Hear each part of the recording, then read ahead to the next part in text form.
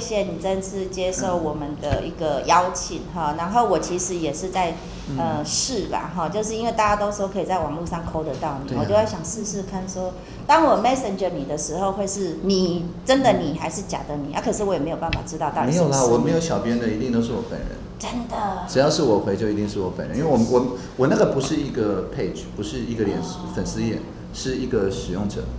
所以事实上我也不可能把账密给别人。真的，然后跟我一样，对我们都很爱隐私啊，但是又很公开透明。呃，不是啦，我的意思说，如果是粉丝也，会有好几个小编一起来管啊。他们在笑我。好好好，重点是，我就 message 他就回了，然后回了之后我就很高兴，说，因为我们的确都想尽很多办法，就是我们很希望更多的，不管是政府部门的人，或者是只要能够关心的人一起来参与。那我就跟我们的团队伙伴讲，大家就很高兴。说七嘴八舌就说，那我们应该问你什么问题？这样子哈，那所以我也请他们说，除了事先给的一些提问哈，是依据您的专业，我们也请他们。问一些奇奇怪怪的，他们我不知道他们有没有想嘛哈。我们会有很多话外音嘛，待会儿。对对对对对对，好，啊，但是等一下到最后都还是你啦，哈，这样子哈，对，所以我们想先请你谈谈，就是说您对台湾的多元族群的语言发展的一些看法，因为您是一个就是多语学习者，是啊，那我相信你也会些比较特殊的。或者是说一个一个创意的见解来看这一件事情。是是，呃，我我自己是有开发一个叫萌点的一个专案。那萌点专案 其实当初就是因为我自己对语言很有兴趣，那又发现说从教育部的角度来看，其实各个不同的语言它是散落在各处。除了大家比较耳熟能详就是重编国语字典之外，其他的各个固有族群的语言，其实呃有的是放在可能是圆明会，有的可能是放在某个呃大学里面。某的是呃，可能还是放在一个大家都已经忘记的呃网站里面。那有的授权比较清楚，像台语的那个长乐词词典；有些授权是非常不明，像客家话的词典。那然后也有一些是，好比像说方音、闽音呃教室啊，或者是其他自己在就是阿美语里面有所贡献的。哎，跟圆明会的呃，不管是它的用词或者它的罗马拼音的正字法都不一样嘛，因为已经有年代了。那呃，光是台语可能就有三种不同的就是拼音方法。对，那所以这些都让我觉得说，哎，我们透过数位的力量，可以让大家可以比较，嗯，彼此一直重复彼此做的重复的工作。那有一些像呃各种不同拼音法之争，那其实你只要教电脑一次，电脑就可以帮你全部呃翻译出来。那所以当时就是透过蒙点去结合本来彼此之间不太说话的一些研究者。那其实从汉语的角度来看，就有汉语拼音嘛、通用拼音嘛、维托马嘛 等等的这些不同的研究者。那我们就是写程式去确保说想要看的人可以用他自己习惯的拼音法、他习惯的正字法、他习惯的这个词组去看，但大家还是可以共用同样的一个语言资源。那很快的就有很多阿美语的朋友们对这个感兴趣，所以后来我们才专门开了一个网站给他们，叫做阿美语。盲点，那就是包含这个之前也是你们同事的 Lafina 等等，就是一起去呃找这个，好比方说录音啊，那足够多人录音之后，电脑就可以帮忙做语言合成了。那做语言合成的话，其实大家在学新的词，尤其造新的词的时候，这样子你打什么字，电脑就帮你呃合成出那个字来。那所以像我们“萌”这个字，因为“萌点”嘛，本来是萌芽的意思，就是呃从土地里长出来的意思，所以它还要特别去找各种不同的呃发音去呃。像做就是阿美语蒙点 在发这个长出芽的这个字的感觉，这样，嗯，所以。刚才您在讲的，其实是在介绍您开发的这个蒙对这个社群，是一个社群，因为我们抛弃掉著作权，所以各个不同的像呃蔡宗翰老师的，或者是呃方明老师的，或等等的这些，本来是纸本的嘛，我们就把它数位化。数位化，那它随着历史不同，可能有不同的拼字法，我们有写程式去把它转换，大概是这样的一个做法。等于是说，就算我什么都不懂，那我甚至这个阿美一个字都不会，最一开始的时候，那我我也可以用听。的那甚至在呃，我们说我们处理的叫开放资料嘛，那但是资料像这个字，它在英文是 data，对，但是其实在阿美语里面它的发音是完全不一样，而且它意思也不一样啊，是 slada 是正方形的意思，所以就是它中间会有很多梗。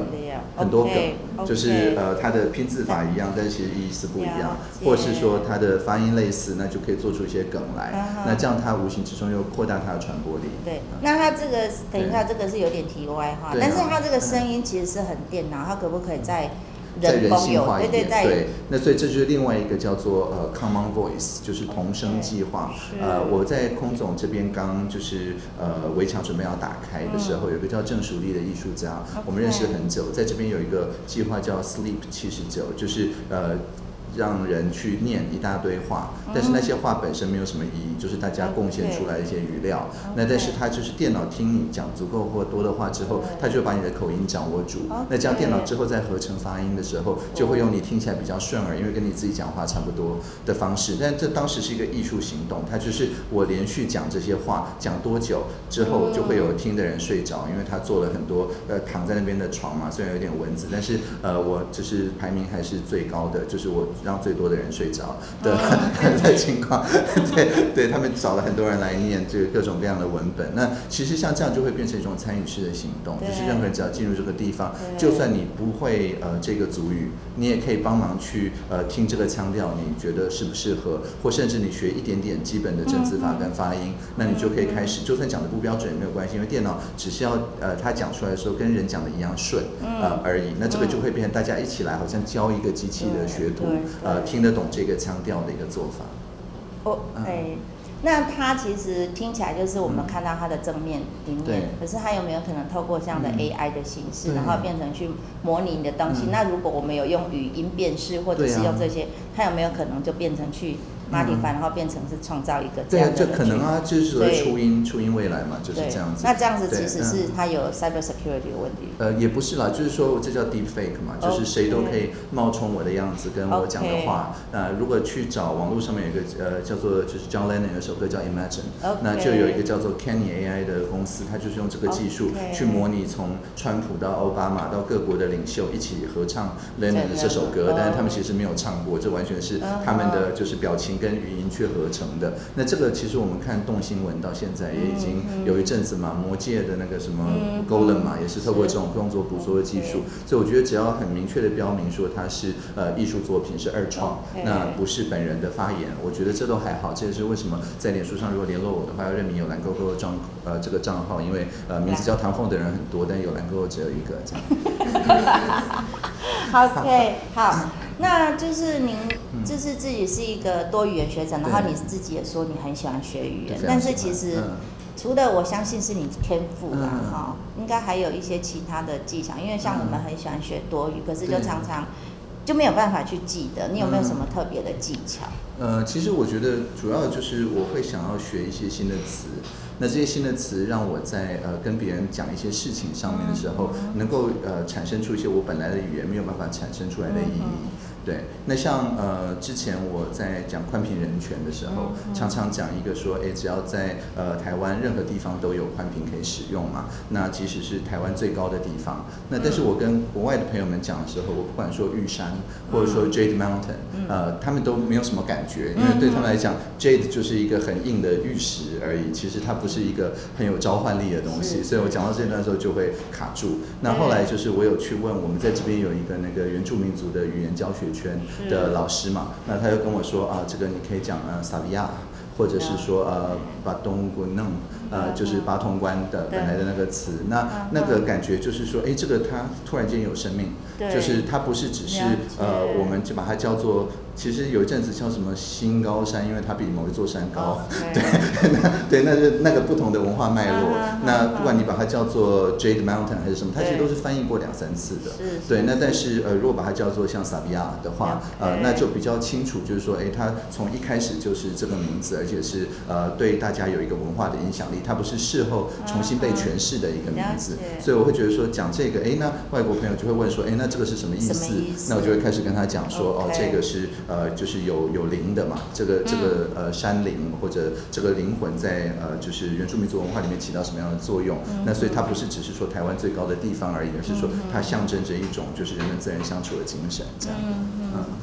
对哈，这样其实也也蛮的，有一点类似，就是我们用一些比较 unique 的东西去吸引，然后可以在背后去讲一个故事，这样子。各个不同的 族语的讲法都都都采集到，好像有一些也没有采集到。哎，因为有的他们就说没有，哦没有比如说像嗯萨基拉呀，因为嗯。他们就会觉得他很多语言其实是嗯。流失，因为他们之前是。是在阿美族底下，所以他们就会觉得他们没有办法所以就去讲到是用阿美族的讲法来讲，对就会变对，然后他们相较的之下，也会去嗯。谈到他们比较关心的是未来的和解，而不是啊过去发生过的事情嗯这样。嗯嗯那就是，嗯，我不知道，就是你可能也知道，就是我们蔡总统他在嗯不管是二零一二年没有当选的那一次，他也都提到要道歉；到二零一六年当选的，他也真的确实道嗯歉。是的，是的。那到现在，他明天、嗯明天都要在第二任了嘛，哈。嗯嗯你自己觉得就是嗯总统的道歉、嗯这一件事情，对原住民道歉的事情，你觉得整体社会有没有感？我我自己很有感我非常感动。哦你自己有感对我我当时非常感动，也包含他呃有一次呃我不确定是就职还是国庆呃的时候呃就是唱国歌之前啊呃是先由这个原住民族的族语去领唱嘛，然后对对就职的时候呃那那个我非常感动，深深嗯。感动，而且呃当时我还不知道我会到政府服务，嗯。对，所以我我我觉得那个真的是呃才是正确的一个嗯。嗯看历史的方法，嗯。就是呃有一个先来后到，然后呃是由先来的去指引后到的，呃嗯。要怎么样子去跟这个土地相处，嗯。而不是由后到的去强行去挪用嗯先来的。嗯那嗯我觉得他在那个整个编曲上面，包含呃嗯就是小朋友的那个呃队形啊什么上面，我觉得花了非常大的功夫，嗯。那个真的让我很感动。嗯，嗯，所以这样的形式其实是比过去我们其实也曾经请阿梅对唱国歌，对。然后那个就很容易被人家讲说，其实你就是又是把原住民当一个龙套，就是然后踏入一个对对，所以就是很不一样的嗯。那样的思考。那除了那个，就是嗯我们也可以讲说，因为它是一个类似节庆的东西，然后有一个焦点在那边，对让你特别感受到。可是，在日常生活当中呢，有没有嗯因为他这样的道歉，然后你感动啊？嗯之后有看到一些不同的东西，嗯或是会触及你想要多了解一下说，嗯呃，我们谈完的这些嗯呃历史脉络上面，呃的的的呃，不管是欺压啦哈，或者是嗯强取，然后或者是把文化语言都消失，是啊，我们感觉上有没有透过这几年的道歉嗯。之后，我们跟原住民族之间的这个关系的了解度更多，或者是我们会有更多的欲望想要去了解在台湾这块土地上嗯。不同的族群的人？我觉得我我个人有，但主要原因也是因为我之前有参加那个新课纲哦。呃的审议，那我是就是你有参加我我是新课纲课发会，的我是课发会委哦员。那在那边我们就也特别强调，就是说，其实以前都是说我们就变成汉语是最大的嘛嗯嗯，实际上把它叫国语，所以就是最大的但是就是现代汉语，现代汉语是最大的嗯。那所以现代汉语在台湾学的方法又是用注音。嗯那所以就会变成说，你用注音注得出来的，对那其实有些包含像嗯客家话啊，或者是台语，嗯其实你注音稍微改一下，用方音符号，那也是注得出来。嗯可是对于原住民族的小孩来讲，他不可能去用注音符号修改去学他的呃母语，他事实上是没有那么多的就是音位去去对应的嗯，那是非常勉强的一件事情。那所以大概就是会用罗马字母。那但以前的课纲又限制说你一定要学中音符号，那就会变成他用两套标音系统，那事实上对学习是不利嗯。那所以我当时在课发会，我有一个具体的提案，就是希望说在原住民族的地方的话，那他们就是先学母语嘛，然后再用呃母语同样的拼音方式，嗯可能是汉语拼音，可能是别的拼音法去学汉语。那那这样子的话，其实我觉得那个学习路径就会很顺畅，而不是说你用汉字，然后主音符号这个逻辑，嗯然后去呃在其实你最需要呃就是理解呃族人文化的那一小段时间，就是可能是第一学习阶段嘛，就是大概七岁到九岁嗯。左右的时候，你脑里要先装一套呃嗯就是汉语的逻辑，我觉得那样是不妥的啦。所以像我自己因为这样子，就是在课发会里本来就是持这个立场，所以后来看到包含那个世界母语日嘛，嗯那我朋友就是邀请我用阿美美语去读原住民族的基本法啊等等。对。那我觉得那些都是让我在一次一次的互动里面更加愿意去了解说，哎、那过去到底发生了什么，然后以及未来可以一起怎么样子去走。那我还记得那时候我去呃萨基拉雅那边这个讨论这件事情的时候，那个有看有碰到一位就是应该也是呃圆明会的朋友，那我就跟他说，其实我们接下来要发展就是类似这个转外交关系啊，就是就跟他说他就是等于是对外交官，然后他就很高兴说那 是行政院里面第一个 这样子跟我讲的，对是哪一个？是哪一个？对，其实嗯我知道是陈亚族，可是我我没有我对我没有记下他的名字，大概他们人对也没有几个，所以我随便讲一个。不是，我是说随便讲一个，我们都认识。意思是我们在这个圈子很啊，很很很紧密，很紧密，不是啊很吃得开哦哦人脉很广，对对对对对，因为我这样话都不会讲的这样啊。我知道嗯，我只是想问你，对，嗯，因为我们也文化部也，它是主责机关，我们通过了国家语言法对啊。嘛。那您像刚才那样，我很赞同，就是从嗯。主语先学，因为它就是母语的一个部分。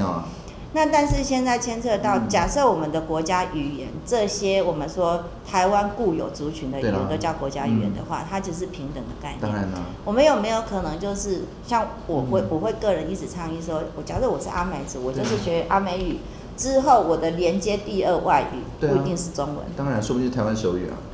有可能。我现在好红哦，对。哦，看得好复杂，好红。对，优势语言，它并不是多数的，但是它是，或者是我可以就是 我直接嫁接英文。是啊，是啊，是啊，可是目前，嗯。我们表面上是有一个就是平等的语言发展法，但是其实我们不允许这样的。其实它的教材教法，我觉得虽然我们新课纲有开放了，然后也包含说你任何科目都可以用主语来教，但是愿意把例如像数学或物理这种科目，呃，其实它不是只是一个语言的翻译，它还包含文化的翻译嘛，包含说每一个族它的数感量感，它它发展的方法都必须用它的那个脉络去教，嗯。所以在以前在体制内的教育，教育实验往往不会往这边跨，但是实验教育就是直接用公办民营或其他方式来办族语学校的话，是已经有发展这方面教材教法，所以这个是合法的。对。只是说它是呃，就是我们也很坦白讲，很多是快要废校了，或者怎么样他，要呃强强调他的特色才发展出来的东西，但他没有变成是说所有的在就是传统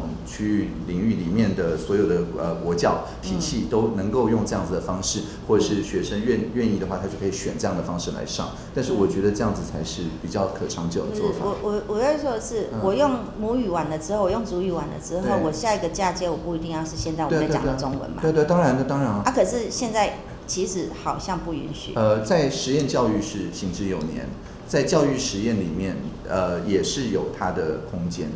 只是说它等于就变成说它的别的科目就要去用这个别的科目应该也也没有问题啦，对啦。只是说我的意思是我们还是会回归到一个，毕竟那个汉语的这个这个掌控很久了，所以我都会回到一，我不是说我，嗯就是说家长或者是老师就会回到一个对。说，那你如果不学中文的话，你的竞争力会是在哪里？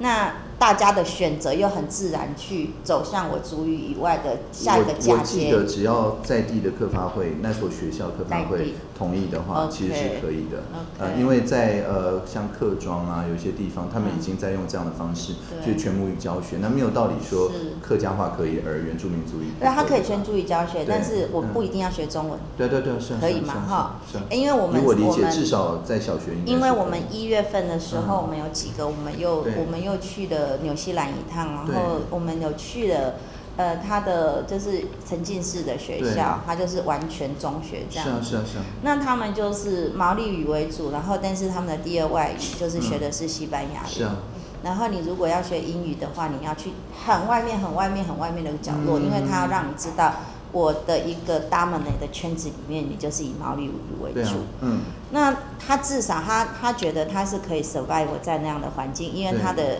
他去学西班牙语的话，他嫁接国际也很快，嗯。或者是说他也不会因此出去，他不会懂他那个国家的另外一个语言叫英文。那在台湾，我们我不知道要推了多久，变成汉语变成选修了。对，就是我不要我不要汉语这个东，因为你既然是国家语言平等发展，对，那我可不可以主语以外，我就直接学英语？以我的理解，或者是客语，或是台语。以我理解，这个就是在实验教育法的那，就只有在实验。可是这个应该是要正常教育就可以推动，为什么要在用背诗？对对对，就是我我很同意说，我觉得嗯，就是实验教育它能够发展到一个程度，但它能够触及的人数是有限的。事实上，它是有一个法定的上限，就是百分之十的学生。那所以，如果你要让另外百分之九十也能够做到这样子的事情的话，那确实就是你要就是可能。运用就是我们这个课纲比较柔性的这个特点了，呃，去等于让在地的这个课发会，呃，让特定的就是国小，这我想还是要从国小开始，愿意用这样子的方式去教学，然后逐步去往上争取，这个我觉得才比较可行。对，我我我之后可能会在就如果您愿意的话，我会很想再讨论，因为我觉得因为你也对课纲，然后或者是说自学等等这些，应该就是。嗯，我我不晓得说这个是不是在这个呃曲折的状况之下结束一个美好的结果。嗯，但是其实，在台湾应该有很多这样子，他其实他不一定要在。这一套体系里面去强迫学习他很多，然后他可以发展的更好，他可以更适才适性的去学习，然后让他，譬如说，好，我举例来说，我们从小学英语学了很久，对，但是其实每次碰到要讲英语的时候，就是咿咿啊啊，就什么都讲不出来，那你就会觉得说，我们要检视他的成效，他就完全没有，那他代表是一个学习效果上面的检视的话，没办法，那所以 anyway，我觉得这个是。可以谈的，因为包含主语的学习上面，我们现在用的方式的确是整个环境上面是不友善、是不利的。不管是在主流社会，或是在原住民的社群里面，哈。那回过回来讲，就是说，您有一个很大家很熟悉的就是您在推动的那开放政府。对。那想要知就是知道一下，您在呃谈开放政府的时候，是不是有一些，比如说原住民的参与经验？对。那如果没有的话，有没有想象，就是说，那未来要怎么样 encourage，或者是说原住民他可以在这个开放政府里面主动扮演什么角色，或者是？你会 call for 这个 participation？嗯，这非常好的呃一个问题哦。嗯，不过我想 先 回应刚才讲的吧，就是说我我觉得实验教育跟教育实验中间呃的这个衔接，如果能够有一个就是立法院三度通过的法案，告诉我们说哪些东西实验教育只要一试验成功，它就可以进入呃就是课纲的话，因为法的位阶会高过我们就是国民教育法，对，所以就是它可以明确的去排除它了。嗯，那所以我觉得像。像呃，之前有听说有一个原住民族学校法，对不对？对。的的这个草案，它理论上对吗？昨天才公听嘛，所以理论上它就可以当这个衔接，就是说我们在实验教育先做到一个程度，然后透过原住民族学校法去说服体制内的学校去呃设立成为原住民族学校，然后在那个学校里面再慢慢去扩增，变成呃就是一般的就是任何国小它都可以申请加入，而且不一定是整校加入，它也许是呃一般加入，像有点像。呃，就是音乐班或者是对学班 没有不是全英语班啊，或什么之类的，对对对对对。那我觉得这样子，因为对大家来讲，呃，你从一个班开始，或者是从一个年级里面的一部分开始，它的争议比较小，而且你比较能够比较得出他这样子学习的方式的不同。所以我觉得这样子，你如果要渗透到更多的就是呃国民教育的话，我觉得这可能是有就是法律明文去衔接，是一个比较好的一个做法了。就是个个人意见。不是说我是我也不是立法委员，我们每一个人都是代表个人意见，对对对，代表个人意见。好，那那这个是这件事情。对，呃，我们在之前就是协作会议的过程里面，先讲一下协作会议，就是只要有呃五千个人联署，或者是说很多像你刚刚讲的，我们在公听会阶段有一些法规的预报预告案，那只要每个部会他有一一群一群人叫开放政府联络人，只要他愿意呃提出来，或者是国发会帮他提出来，那我们经过每个月。的投票，我们就会选出呃相应的议题，然后去进行多方利害关系人的讨论等等。所以，我们呃刚刚讲的一些就是文化上面的这些争议啊，这些当然是有讨论过，可是比较不是原住民族的。好，比方说我们有处理过呃神珠案，那那这个就是呃嗯客家。还有其他文化，也不包含客家文化，呃，跟就是现代的这个动保观念，它的中间的一些竞合嘛。那我们也处理过金纸跟香。呃，这样子的呃议题，就是它慢慢转型，从呃一种比较经济经济性的行为，因为有一些比较便宜的进口的香开始出现了。那但是这个本土的手工制香的这个文化，不像是制茶文化，因为有珍珠奶茶的关系，忽然之间 又重新流行了起来。我们现在没有珍珠奶香，所以没有办法重新普及变成大众文化，所以他们就会提案说，那是不是要做一个无形文化资产跟重要文化？资产保存技术的登录，所以我们跟文化部其实有蛮多合作。那但是呃，在这里面目前为止都还没有就是原住民族文化相关的。那原民会以我的理解也比较没有碰到啊，主要有碰到的还是呃之前好比像说在讲那个呃登山案，就有一个叫香山之境嘛呃的一个案子的时候，我们有协调大家去讨论说，我们如果要开放山林的管制，那怎么确保说它自然的承载力以及原住民族的记忆或或者是对这个山的一些尊敬的程度，呃，不要因为就是开放管制，好像呃就是破坏掉或者变成不尊重它等等，所以这里面就是多多少有擦到一些，但是大概都是因为那个地方碰到了，所以呃才跟当地的原住民族进行讨论，但是比较没有说以原住民族的文化作为主体来进行讨论，这是我们方法论上面可能因为就是要有五千个人联署的这个门槛的关系，它呃就是要调动大家的注意力比较困难，对。大概都是我们这边调动环保的，或者是调动的一些呃交通有关的，这些都比较容易。对。所以这样子讲起来，就是你刚才在讲说，可能目前的方法论上面，它很可能是不利于这样子，是因为就是说你要有梗，你要有梗才能动员五千个人。对，那以前就是有一个像海龟这个被吸管卡到，那有这个梗，马上就五千个人，然后我们就来讨论塑胶吸管要怎么禁用。对，那但是呃，我觉得圆转的一个特色就是说，它是需要你你等于亲身去那边去理解，那它很多是呃口传的或者是。在那个地方，你感觉到那个呃，就是场域的的呼唤的时候，你会特别有感。但是你很抽象的看呃一张照片的时候，它很难靠一张照片就这样子就是传递这样的感觉，所以它比较需要花时间。它比说听一些音乐啊，听一些口传的呃历史啊或等等。那但是你要花那么多时间才能够呃关注的时候，他很难一下子就是调动大家两三秒钟的情绪，然后变成五千人赶快就来联署这样的一个情况。嗯，这个的确是问题。对啊，所以我觉得要要找出一些大家两三秒钟就比较有感的梗。他立刻会觉得说我支持这个，他都不用想太多，他就是他觉得道德上、情义上各方面，他就立刻可以会类似一个一个一个一个反射动作，就是说啊这这件事情触动了他的心，对他不应该再发生，或者是说这个东西它就是错的，他应该要改变这样子。那你觉得，嗯，有什么事情你这么聪明，嗯？这么 creative，嗯，有没有什么事情你觉得或许可以 try 看看？你是说 try 看看，让大家觉得，哎，就是要号召触动，对，触动我的心，我们可以来做这一件事。嗯，不管是用情感啦勒索啦，或者是说用一些技巧性的道德呼吁啊，情感勒索。OK，我我我自己之前因为有跟一群做那个区块链的人这个一起混，我现在就是一面当政委，但另外一边在创业，就是有一个非营利组织叫做呃 Radical Exchange，呃中文叫做激进改变或呃有一本书啦叫激进市场，中文才刚出。嗯。那那我是跟一个叫 Vitalik Buterin，就是他是以太坊呃这个区块链的发明人，那所以他蛮有钱，因为他自己印钞票。那所以他的想法大概就是说，希望呃我们可以。呃，就现有的这种啊，主权国家一定都有什么中央银行啊，一定都有他的自己的司法啊，一定都有他自己的一些行政的方法等等。那在这个呃国家跟国家的边界里面，他去想象一些新的做法。那因为比特币跟以太坊一开始就是去颠覆中央银行的概念嘛，那所以他们就可以在这个基础上面去发展，比方社区货币，或者是说社区的一些呃，就是你是对这个土地的智能合约，呃，甚至是所谓的自然。呃的人格化。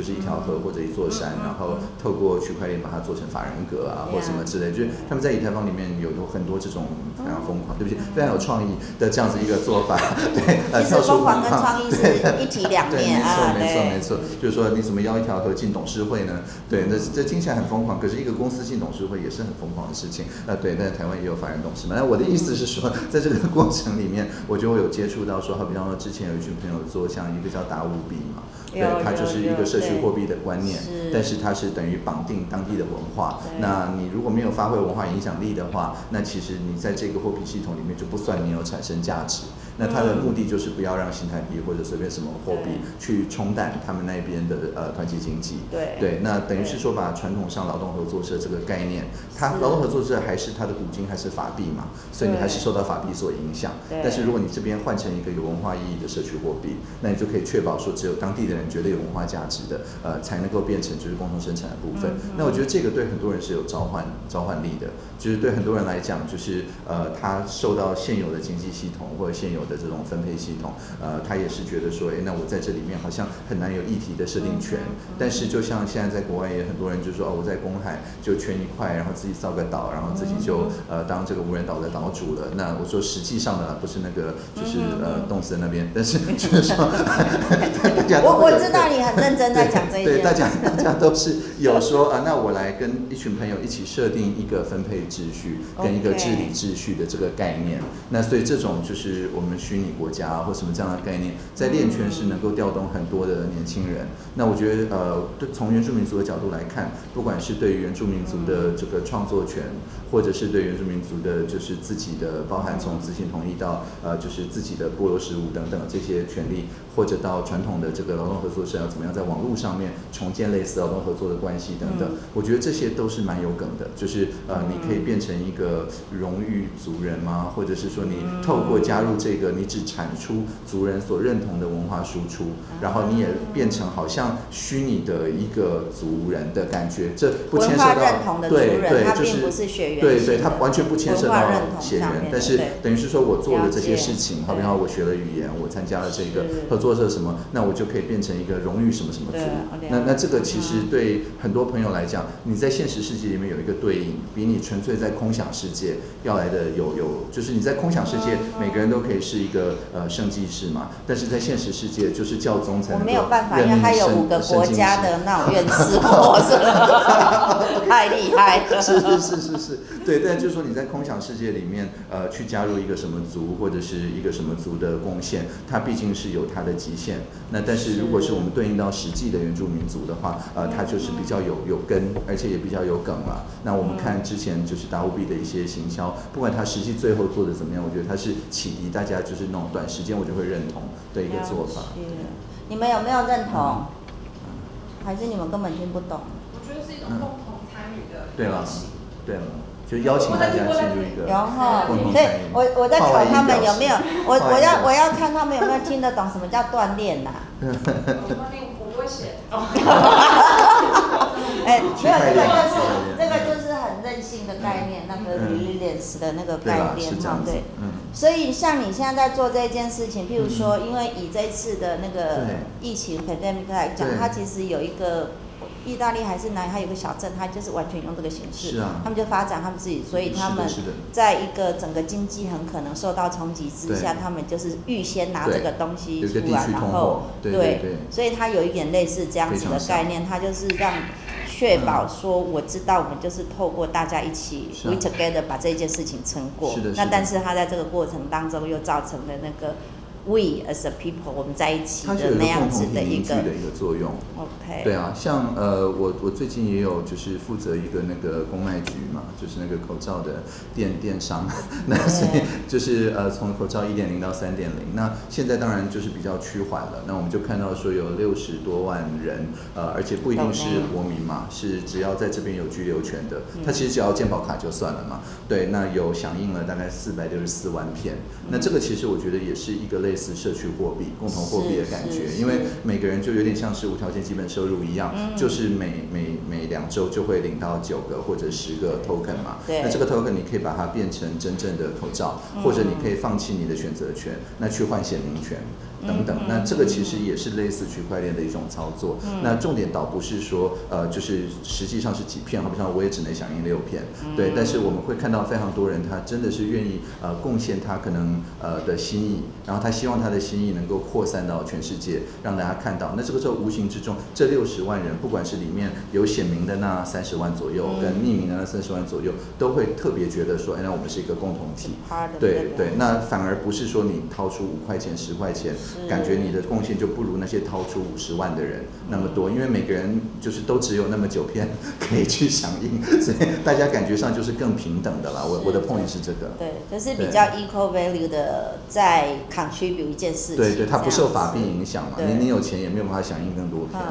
你要不要再精进嗯下一个那个口罩？哎、现在是到几点级了？现在很多人说响应这个是四点零嘛，对这。样哈，对，嗯它还有一个我我自己觉得的缺点，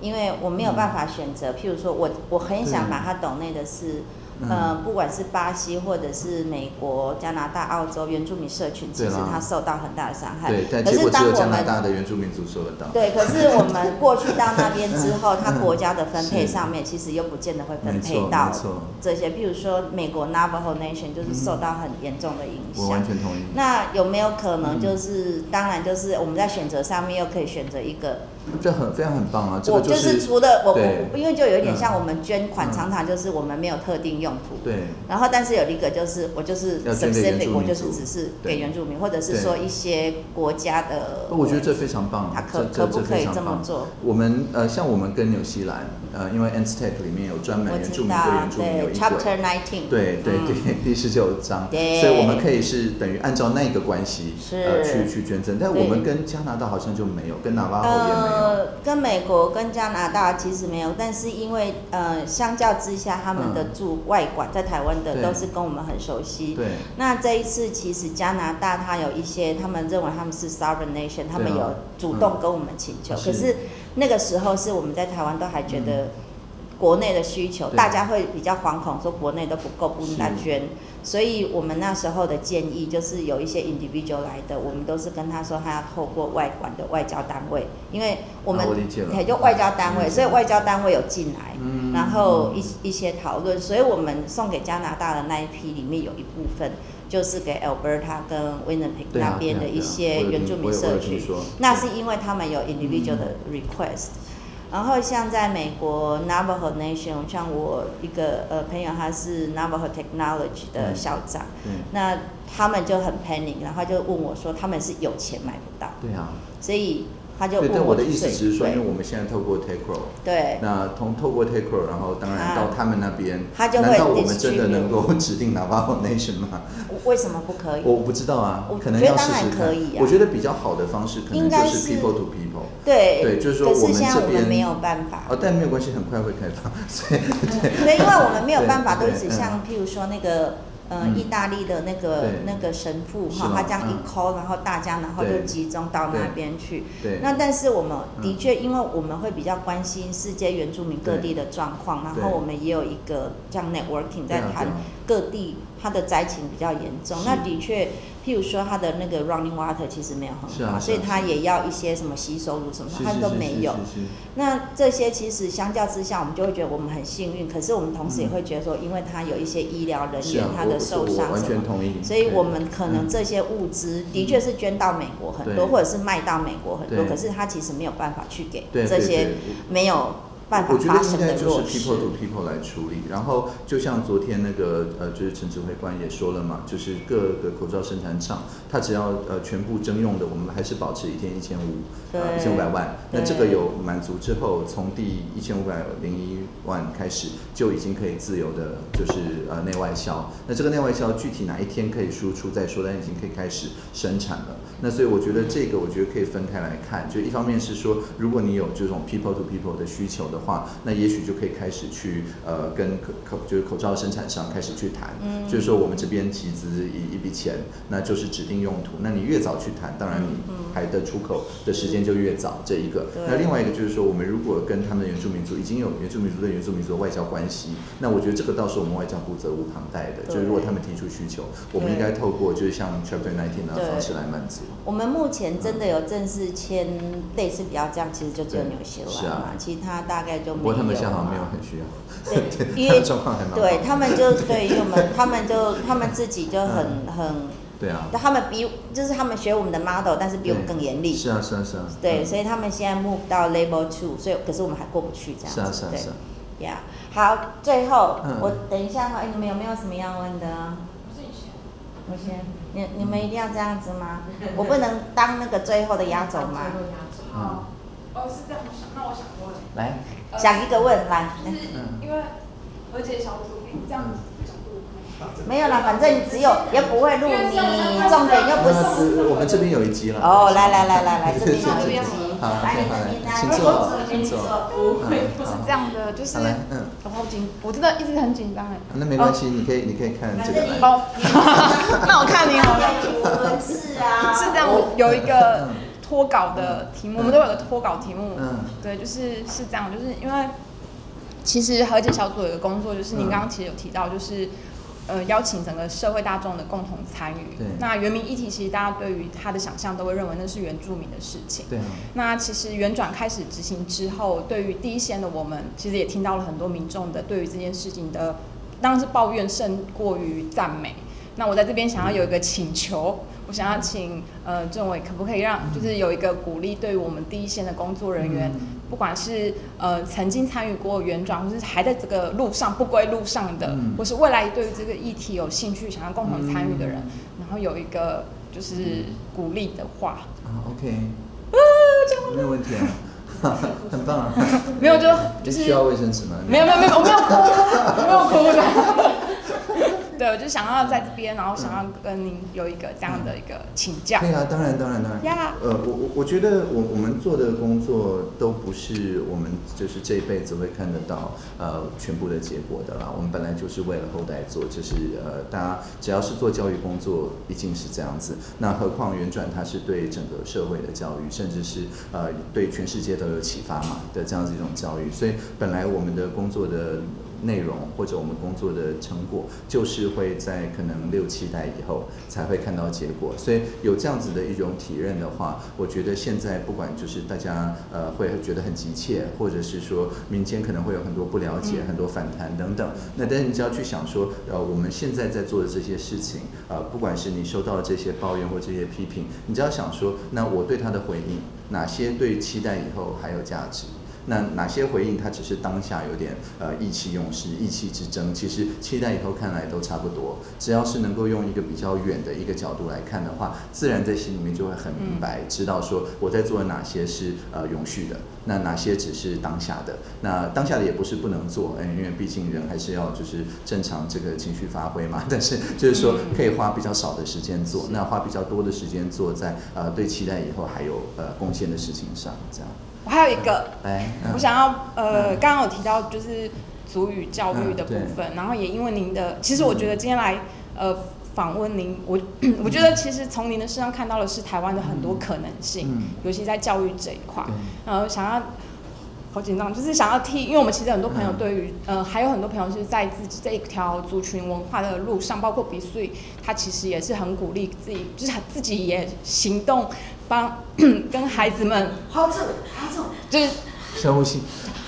就是呃，跟孩子们就是很努力的在用，就是任何的机会讲自己的语言。是啊，那我觉得这样的妈妈或是家长们，嗯其实在这块路，就是还在，也是一个不归路了。我的妈呀，嗯就是一都是一个、嗯 对文化不归路。嗯然后我觉得今天是，我觉得其实呃，当然也因为现在法规有些还在努力当中，然后有些人其实呃心里面有一个想要就是。很呃简单的愿望就是想要说，在自己的土地上面嗯。说自己的话，这样子的想法，嗯可是可能对他们来说是还是很就是很遥远的一个距离。我我想要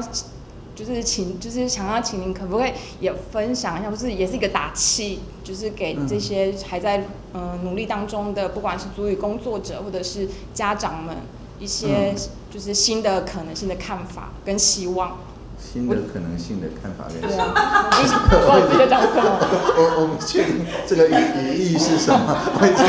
我我在我试着找到你的你的所指，但 是就像英文一样，就是全部都个个别倒出去。个别的词我好像听得懂，就是在一起语义是？因为我应该是好重新讲，就是我觉得在你的你的教你的学习的过程当中，你自学的过程我们真的看到很多的可能性，而且尤其是真的是很大的正能量的那个希，真的是希望。所以我们今天来访问你，也很多朋友知道都很开心，然后他们也很想来。那那这些朋友其实的背景都可能是也是都是在足语文化的工作，就是足语文化的教育里面在努力当中。对可是也因为现在的法规可能呃还有很多需要突破跟翻转，甚至改变的路上。所以我就觉得说，呃，我想要请教是说，是不是也可以如同刚刚一样，就是也给我们，呃，可以给这些还在努力当中的伙伴们一些想法或是一些打气，呃一些打气，好，这样这样可以有比较清楚吗？没 没有。啊，嗯，我我我想我想我想他可以，对他他我的脑波接受你要可以吗？表达的意思的。你有感受到我多多少多少有有一些不要对对对对对对，我对我我想就是我我经常会引一句话，就是 Leonard Cohen 呃会说，只是万事万物都有缺口啦，那缺口就是光的入口。那呃，嗯，我会讲，对。Спасибо. 对，就是说，就是说，我想我们现在的这个情况，不管是呃历史正义或者是转型正义，都存在非常多的缺口。其实稍微翻阅这个重点报告，就可以充分的感觉到，就是能够弥补到的地方，虽然有记录下来，但是更多的是呃缺口，就是大家还不确定到底要怎么做，或者是它已经断裂了比较久，所以你不知道怎么样把它长回去，等等的这些部分。那而且我们现在所谓的多元民族、多元文化或者多元历史的这个观点，那或者按照我的讲法啦，就是呃这个公民之国嘛，这个在在花之中嘛，就是呃因为我们那个国号没有说你要用什么发音，所以我都是叫中华民国。但 anyway，就是说呃在在就是呃大家的肯定这个新的多元史观的过程里面，其实就是所有有自己的认同的族群都可以在这个过程里面进行这个形塑。那这个形塑的过程其实是蛮痛苦的，那就是是包含过去的痛苦，包含现在的痛苦，包含未来因为一下子还没有办法理解对方怎么看这个社会，那的这个痛苦，这个痛苦的程度就有点像是说，呃，我常说为什么那个萨迪亚会长高，就是因为 这个呃太平洋海板块一直在就是撞呃这个欧欧亚的这个板块，那当然它会造成很多像地震啊这些事情，但是呃也让我们知道说，只要我们的心灵上防震结构做得好，那每一次的这样子的冲击，其实都是让我们用更高的这个视野在看我们的社会，所以我会觉得说，呃，这个是很重要，就是我们呃在台湾已经没有像以前的那种单一文化价值、单一的那种强权等等。那像这次的防疫，也其实呃像那个陈部长呃之前有跟我们分享说，他也不没有用任何所谓的法则啊或什么东西，都是靠大家自发的去提醒大家来照顾好彼此的身体。那这个就是我们在讲的这种公民社会的力量，或者说社会部门的力量。那也就是为什么我们不需要运用封城的呃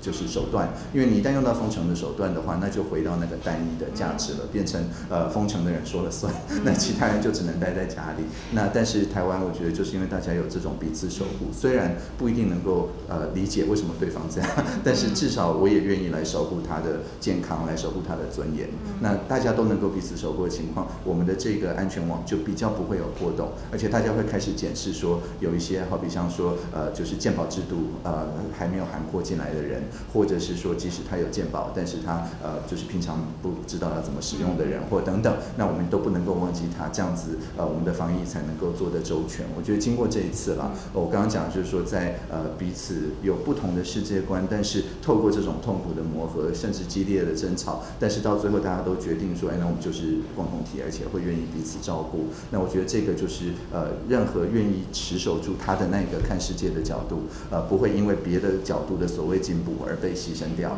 那这些持守的力量，我觉得是最重要的。那所以也就是非常尊敬大家持守自己的这个族群的语言的这个角度跟文化的角度。我觉得呃持守的越多，就让我们未来这个呃就是遇上可以长得越高，这样。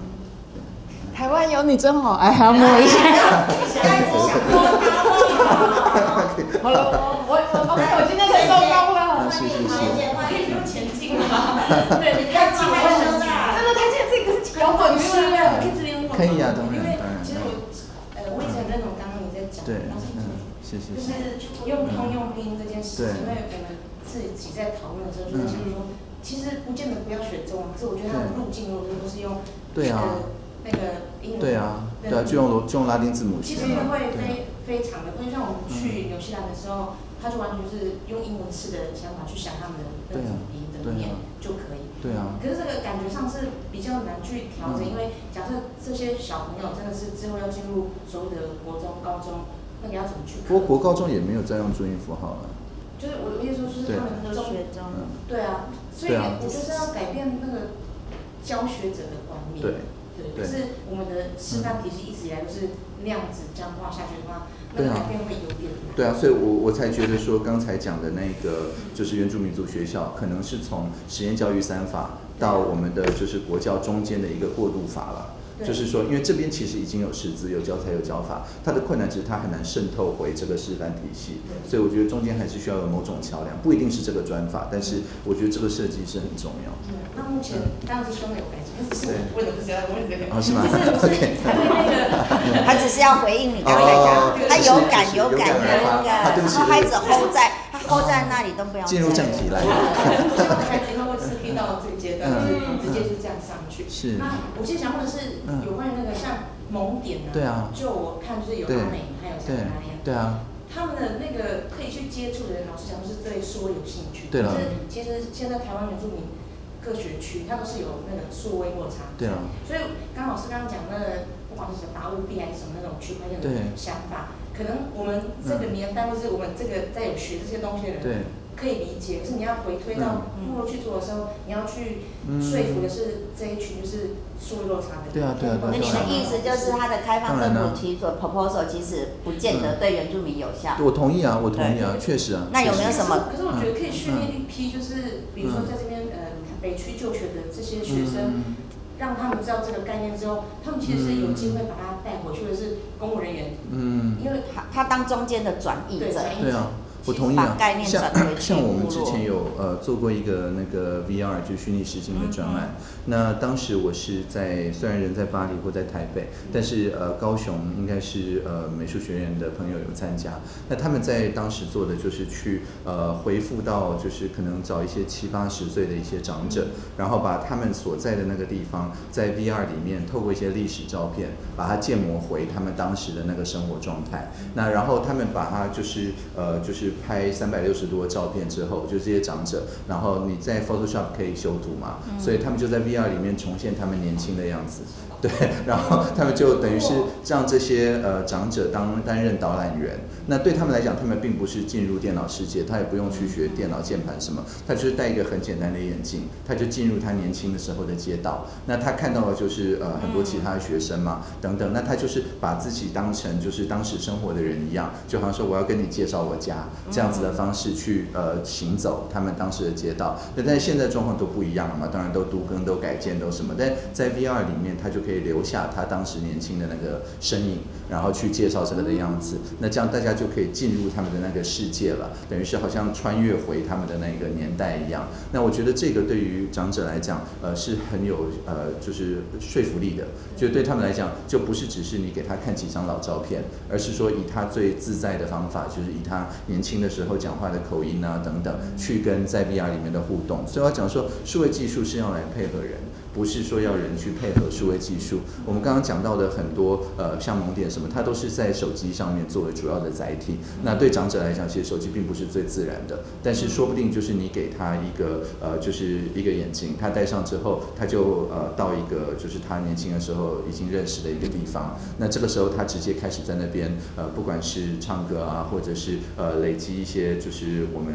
呃当时是很盛行，但是现在已经呃没有的那种就是日常的。对话。那他们甚至几个人在那边日常的对话，那你也可以很容易的就把就是现在年轻的听众观众带到一个他们当年的那个场景里面去。那我觉得呃，尤其是呃，我之前有跟那个呃萨古柳嘛呃有讨论过，就是他觉得说呃都是教育都不是靠中间这个挑扁担的时代，而是挑靠扁担两边的时代，就是呃可能刚刚讲的只是六七十岁的这个时代去教可能六七岁的小孩，呃而且教的时候也不是用呃文字来教，而是把他们实际带到呃就是他们自己平常生活的那个场域，然后让他去了解到说这生活的方法。那小朋友是说这等他们教完了，那也差不多就 他们就过世了，然后就传承到这一代。所以呃那但是他们教的又是他们的呃阿公阿妈辈。的东西，所以就等于五代的记忆了，就可以传承过来。那他是一直很反对说，在第一学习阶段，就是七岁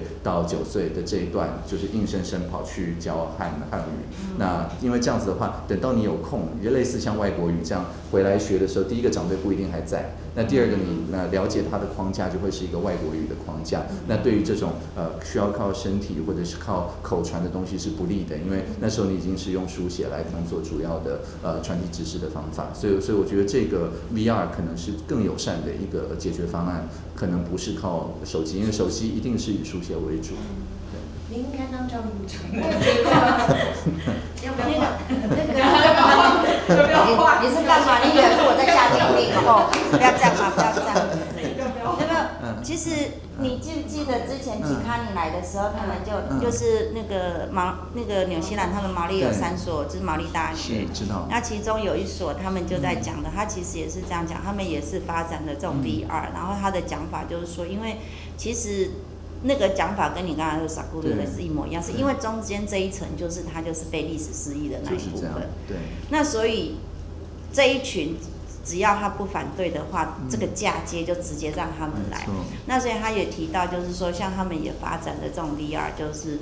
的确直接他们去虚拟那个过去的地景，然后让年轻人可以去看。是啊。但是他倒是没有提到，就是说，哎，其实呃其他年长者他们看到的，对对对，他们他们他们想的比较是说，我们就直接从年轻的这一代，然后让他们有机会去看，因为他说，假设年轻人花很多时间在做这些事情，然后他也觉得比较有兴趣，那我们就把他有兴趣的工具载具放在他们面前，输入我们想要他们学的东西。就有点是比较那样的概念。那另外一个就是手机上面，它其实另外有一就是那个奥克兰理工大学，他们他的副校长他就提到的，就是他说以他来讲，他手机顶多就是拿来打电话。对。可是对其他的不同世代的人，手机它代表了很多很多，尤其是一个学习的。大概主要都不是打电话。对，他说就是学习的 tool，所以他说那既然是这样的话，我们怎么 utilize 这件事情，让年轻人可以在这边学到它。所以他们就会发，他们就会 create 很多 app，比如说他们的这个马瑞就是那个集会所里面，然后每一个那个呃图腾柱里面都会有他的这个祖先来源的那种神话故事，他就直接就是我走到哪里，我按下去就是这个故事，然后它也很多语，嘛就是说它也各种语言，因为那你比眼睛去看，然后那种听。的声音其实是不一样的。那我们都想一想，就是说，其实台湾常常会讲一件事情，就是原住民叫做传统，然后传统跟科技是不能嫁接的。可是不应该是这样。当然不是这样子。然后其他的地方，他都已经可以说，我就是透过科技，我我不是让科技来宰制我，但是我利用这个东西去学习。那可是，在台湾真的的确。很少，他就会常常造成，就是说什么叫做你有部落回不去。可是我都常常想，台湾就明明这么小，怎么会有那种部落回不去？对好，就是像这些，我觉得是一个观念的转化，可能会让我们快很快速很多，让我们把圆转的这些议题，说是我们想说让台湾的一个共荣或者是多元共荣的社会的那个脚步可以加快一点。所以最后，你看冷气都已经关了，是不是有什么那个？哈，好来。这样子，嗯，因为您是很推倡开放政府，然后它某个程度上面就是有需要更多的人来一起来参与，去完成一些事情。嗯，那我们在谈的圆转这个议题，其实某个程度我们很希望透过社会沟通，也会希望有更多的人来一起参与这一件事情。那之前蔡总统他也讲过，就是一个人走一百步，跟一百个人走一步。嗯。他就后后面比较难，嗯。因为你就是你要号召一百个人来共同走这一步，可是它更有意义。当然，那我们自己的团队里面也讲过说，如果以原住民的人口是百分之不到二点五 percent，嗯。现在是二点四，再加上我们会讲说原住民以外的大概就是九十八 percent，嗯可是我们要怎么样带动这九十八 percent 走向去了解这二 percent 的人？嗯。那你有没有想想，就是说可以嗯帮我们想一下，就是说从你就开放政府的这样的一个理念，嗯怎么样把它结合原转的概念嗯。来处理这样的一个台湾的未尽之业？嗯嗯嗯，对，我觉得有一个很重要的概念，就是说，呃，这百分之九十八只是还没有变成这百分之二 的而已，就是说你要把它看作是一个每个人都有这个潜力，每个人都有这个潜能。那就像我们对呃，就是我们公共政策网络参与，其实呃，我们也不是一下子就做到说有超过一千万的访客来用我们的呃，就是倡议的这个平台，在一开始也是只有可能百分之一 不到的人知道有救援平台的存在。那所以呃，为什么在一开始持续那么长的一段时间，甚至常常被人讲说是就是嗯，就是只有少数人会用的平台啊等等。那我觉得重点呃，不是说呃。去拘泥在那个少数跟多数，是去问说到底有什么样子的事情能够让这些多数呃的不太关心的人，能够也自己认同，然后变成呃来积极参与的人。那举例来讲，像呃我们之前呃有一个案子是叫做呃要在恒春的机场，他们希望内政部派黑鹰直升机去那边当救护车用。那这个听起来是一个就是也是有一点天马行空的想法。那但是他想要讲的就是说，因为在地就是很多呃发生就是呃事故伤害什么时候都后送，那后送的距离很远，但是如果什么都后送，在地的医生也很难累积他的能量，那所以就会变成恶性循环嘛。那所以他们其实只是借着这个梗啦，就是说黑鹰直升机来当救护车用，可以省二十分钟的后送，来凸显在地的恒春的医疗资源不足的这个呃情况。那为什么我们会觉得这个很特殊？就是因为呃大部分的在上面参加的人其实是呃第一个不一定是恒春人，他很可能是去恒春、呃、旅游。那第二个是说他也平常也不会用手机去做什么网络参与，也没有听过开放政府，他会来联署，纯粹只是说他的那个民宿的门口就有一个招牌。然后就说你知道什么？你如果去浮潜，这个如果这个得什么心脏病或怎么样，你知道这个在方圆多少公里里面没有人来救你吗？你如果呃这个关心这件事的话，你确定之前呢，呃就赶快先联署来伸张自己的权利，对。用 fear 是一个最好对的玩对对对对，就是用这个这个恐惧动员，恐惧动员哎，这个很有用啊，一下子就就五千票。对，那我们实际上带了非常多的部会去那边，然后确保说，哎，包含线上的有一些曾经在恒春支援过医学中心，但是现在已经去国外深造的朋友，那他透过直播什么，我们不是说我们用数位技术去取代面对面讨论，我们是把面对面讨论透过甚至像三六零直播去带到全世界大家呃关心这件事情的人面前。那所以他一听到他就知道说啊，这个要解决的是，那他就打字去说，呃，我在那边的时候，甚至我连小朋友的就住的地方也没有，这个呃也没有宿舍什么之类。那你这样情况下，要好的医疗人员或护理人员留在这边就不可能嘛，所以至少要解决住宿的问题啊等等。那又或者像在台北的立法委员，像钟嘉宾委员，当时他就也是视讯进来说，与其把人这个他可能都已经生重病了，还飞到高雄，不如你在那边把医疗器材都备置完整，然后请高雄的人来这边，呃，就是练习之后，你把医生飞到高雄都还比较快。那所以就是当你呃扩大这个参与到大家都共同的，像你刚刚讲的，就是哦，我大家都怕说去那边发生三长两短嘛，这件事情至少感受大家是共同的，那这样你就很容易一传十，十传百，呃，五千个人就变成一万个人，变成两万个人都关心这一件事情。但你说他们是不是很抽象的去关心什么离岛啊、偏乡啊、什么发展啊、华东基金啊？大概都不是，他们就是关心说我下次去很村的时候发生事情了，到底会不会怎么样？那那你这样举的这个例子，可能在原转里面不太适用，请说，哎，因为原转这一件事情，很多我觉得一般的非原住民朋友，他会嗯觉得说原转这一件事情是跟他很难有关系的。嗯譬如说，他很可能看到的都是你要土地啦，你要你自己的语言，你要你的什么什么。那我当然我会很支持你，这个是多元发展，可是他没有办法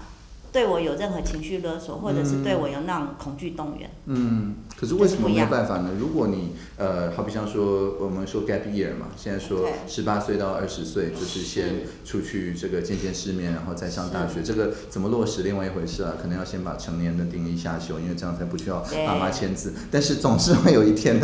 是会有人就是高中毕业之后，他会先等一阵子，等个两三年，然后再去念大学、或者再去呃就是深造。那这这个 gap year，我觉得看纽西兰的例子或这样的例子，很多的例子其实是他找寻他的第二认同或他真正的那个认同，嗯就是他的成年礼在哪里发生。所以我刚刚举恒春的例子的一个很大的原因，就是因为我觉得岛内移民这件事情，就是当一个年轻人他第一次掌握他能够自己居住、跟朋友一起居住的这个时候，那之前我们也看到像东华大学很多朋友们，他就是因为做田野，那他自己本来的认同也不是原住民族，但是做到第二年就自己认同发生转变等等的事情。所以我的意思就是说，一开始他可能只是因为观光，或者因为节庆、因为歌舞、因为音乐、因为什么东西去那边，可他到那边之后，就像恒春一样，恒春呃其实能够吸引人的东西也就是那几个，但是当大家都去的时候，就会有一个群聚的一个效应嘛。那这个时候它就会产生一个文化，那这个文化才会去把你刚刚讲的，就是呃一开始大家都觉得跟我没有关系，可是我如果每每个暑假都去，然后到最后十八到十九岁的时候，我的认同就开始发生转变。那那那个时候，我就会开始呼朋引伴的去说服我的朋友说，哎，大家要关心这个文化，因为它已经没有我的文化了，或至少一部分是我的文化。那如果一开始它那个排除性越强，那就像是什么东西重症都后送到高雄一样，它不会形成一个恒春在地的加医科，它不会形成恒春在地的医护网。那这样子的话，他当地的人当然就是我去那边也只是去实习，那我一实习完就走了，因为我的小孩或者我的长辈没有办法在那边获得就是呃认同嘛。对，那所以就是说，我觉得年轻人他十七八岁，呃，就最浪漫的那个时候，他如果愿意就是变成荣誉族人，刚刚的那种概念，那下一步就是说，在那个族里面要让他的小孩或者他的长辈也有一个位置。那这个位置怎么怎么协商是一回事，因为呃，就是有点像是 你也不能一下子全部开放，不然马上就被就被就是冲刷了。对，那但是如果你可以稍微开一些口出来的话，我觉得它对这个呃你刚刚讲的两趴慢慢变三趴、五趴、十趴非常有帮助，因为这样的话很多人就会开始有很多的多元认同，他会觉得是说，那他的从几岁以后他就开始切换到他所认同的那一组的文化去，他才愿意开始学一点语言。这个时候这个语言消失，对他就开始有切身的感觉。所以它的质量是呃互相在依赖当中转变，对啦，就是这个的意思质。变跟量变对对对对时同步是这样子。对，所以我觉得你要有一个就是揽客的那个，那个何姐小姐，麻烦你对继续哈，当手模啊什么的之类的哈。那个九谷，你有没有什么要？那么客气。古乐呢？嗯，古乐呢？OK 哈，好。那那我继续，那我继续问一个，你平常听什么音乐？听什么音乐都有听哎，嗯真的，你听过哪些原住民的歌手的音乐？呃，这个不不限制哪哪一族嘛？不限制。哦，OK，不管哦是吗？OK，呃，我我有听那个塞尔特的音乐，OK，sorry，那个那个不知道算不算原那住民族？有算哪、算欧欧洲算 哪、对对对 sorry，嗯那个算对嘿。啊，然后那台湾呢？台湾的呢？台湾的，你现在硬要我讲，我不一定讲好，没有关系。不好意思。好，没有关系。嗯诶，我们我们诶，下次我们可不可以送他一些这个嗯台湾的原住民音乐？嗯，很好听。好啊。哎，不一定你不一定喜欢听啊，因为你说你听的种类蛮多你喜欢哪一类？哪一类？哪一类要不然你有没有什么就是唯一不听的？都都没有不听的，都都都都怎么这么不挑？对对对对，都都很喜欢。挑哦。好，那另外一个问题就是，你看宝总吗？什么东西？宝冢，老总是什么？那你就一定没有看了。你知道宝总是什么？你知道？那不就普你解释一下。好，侯总，哎，是宝冢音乐学校的宝冢啊。日本的，对对，日本呃，的日日本的那个两年两年的专业学校嘛，宝总舞表演团嘛上。是有女，对对对，全部。全女团，的，全女知道。嗯团的，，对，我没有看过他们表演，嗯好棒，嗯。哇，好吧。我这怎么了？没有我只是这有什么提不议吗？是，我只是我很想了解，就是说嗯他除了想什么创业啊，想什么数位，然后嗯开放政府，你的娱乐是是在做什么这样子？呃，我娱乐就是在网络上面去这个拥抱小白，就是有人发表一些比较白目的言论的时候，跟他呃有一些比较正面的互动，最后把他能够邀来社会创新实验中心，这个是我主要的娱乐。嗯这样，所以哦，这个这种也是一种娱乐。那个，我们我们大家多学习一下哦，对对对对拥抱白小，拥抱小白，对对对对，当做一种精神按摩了。对的，对，也也是一种我们应该有用正面的想法哈。嗯啊，你刚才嗯，有提到，就是说，因为你一方面当正文，可是你另一方面要创业，对啊。这应该不行吧？不可以可以，因为他是呃，我们还特别去请全序部做了一个解释，就是因为他是非营利组织，而且我也没有收钱，而且他的工作跟我的正职是有关系，而且是院长批准，这四个都成立的情况下是合法的。我现在兼三个不同的非营利组织的职位，而且任何公务员都可以，不是只有政务官可以。没有，可是你说到了创业，创业就不太一样喽。创业哦，可是你的业，创业是非盈利。它是非营利组织啊。好的，好，谢谢。谢谢。虽然你愿意给我们到七点，可是我们有自己的团。原来是这样子，哦没有哦啦哦好，好很欢迎跟我们啦。嗯可是我想，因为你宁愿拥抱小白，也不想要我们没有没有温度的没有我觉得没。有没有啊，我们不是还有十二小时吗？对对呀，我很想，我很想，我很想啊，啊。那那就先先留着嘛，对不对？以后慢慢用嘛啊。对，我们分期付啊款这样子。